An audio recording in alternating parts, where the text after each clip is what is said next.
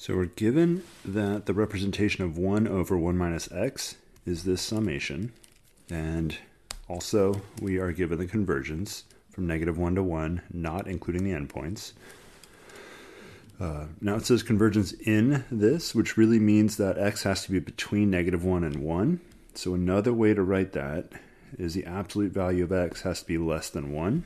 That's the same as negative 1 is less than x is less than positive 1. Okay, so first thing we're going to do is rewrite this series, except we need to replace, uh, wherever we see an x, we're going to replace it with 6x squared. And the second thing we're going to do is multiply by x squared.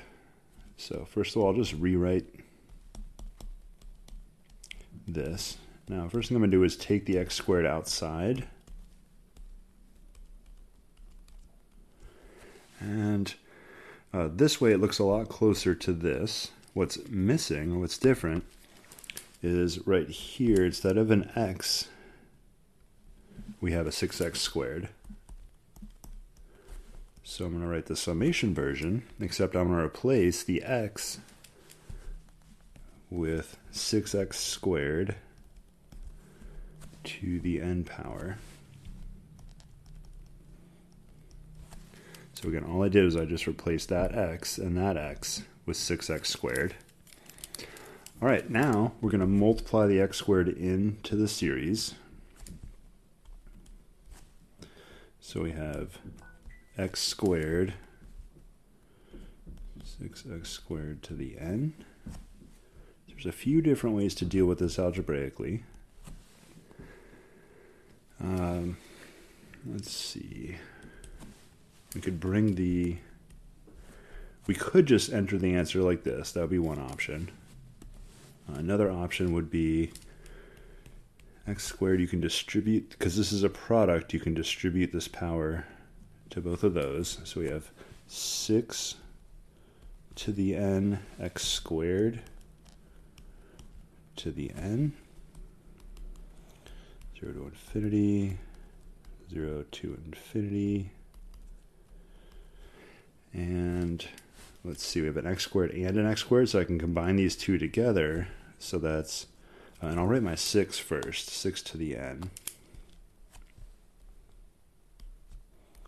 So I have x squared raised to the n plus 1 power. So that'd be another way to write it. And of course, powers of powers are products, so you could write it x to the, we have 2n plus 1 which is 2n plus 2. So a whole lot of ways to write it. You can write it in whichever way that you want, whichever way makes the most sense to you. Okay, so that's going to be summation right there. Now we're going to have to determine interval of convergence. So before the original was absolute value of x is less than 1. And can't equal 1 because we had to exclude the endpoints here. It can't equal negative 1 or 1, so that's why it's just less than 1. We're going to play the same trick we did before. We're going to replace x by 6x squared.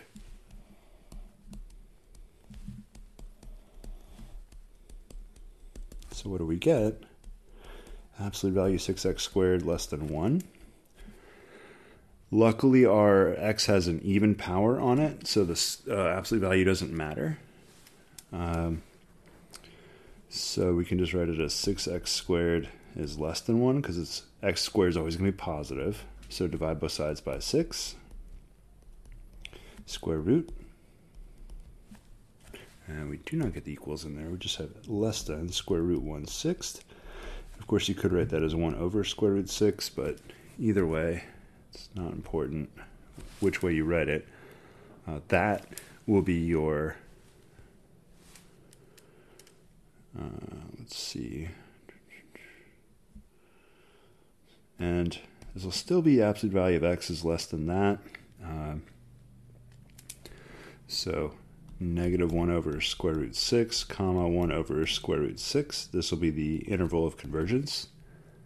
That's the uh, minute and the max right there. The negative square root and the positive square root there, the min and the max.